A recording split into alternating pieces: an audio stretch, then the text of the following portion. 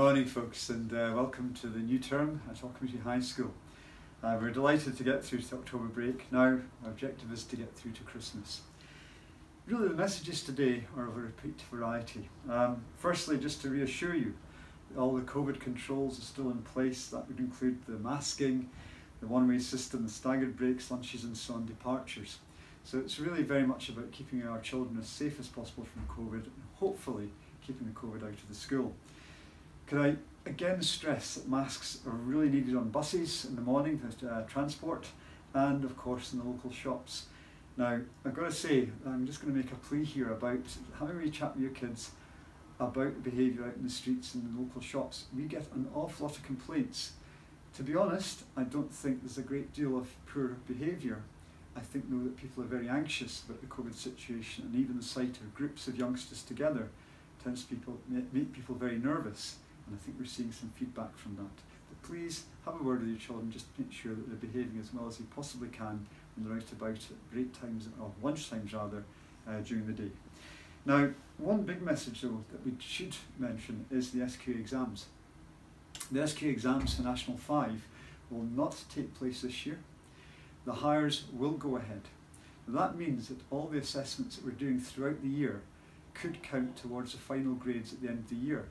Although the Highers are scheduled to go ahead, there's no guarantee, so even those could actually be judged on the continuous assessment that goes on throughout the year. So please make it very clear to your children that every test that we do, every assessment could be the ones that lead to their final grade at the end of the year. And that is definitely the case with National 5, but it may even now be the case with Higher, despite the fact the exams should go ahead. The Higher exams are scheduled to go on a couple of weeks later than normal, and we're waiting to hear exactly what the details of that are going to be. Now, beyond that, I think the other message I'd like to mention is the fact that the school is ventilated, so the need to wrap up with layers is really, really important. We're noticing the drop, the drop in temperature now, and as that temperature drops, it becomes even more important that our young people have enough clothes on every day to make sure that they're warm in the classrooms, which need to be ventilated to minimise the risk of COVID.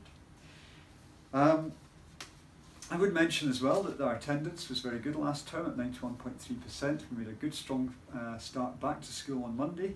Uh, with attendance around about 94, 95% and hope we can continue that um, throughout the term. Now, the first tracking reports will be coming out. There's going to be tracking reports throughout the year. Given that there's no parents' evenings, these reports are more important than ever. So please discuss the tracking report with your children. Make sure they're aware of what the positives are, what the negatives are, and as well as negatives, help them to work through that and to improve their performance in the classroom. Um, finally, I'll just mention the Parents Committee is next Tuesday. A group call will be going out and there'll be a contact detail on that uh, to get in touch with if you want to be part of that meeting.